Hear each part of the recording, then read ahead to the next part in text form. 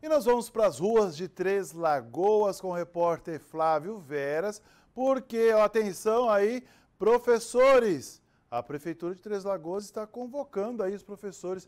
É isso mesmo, Flávio, bom dia.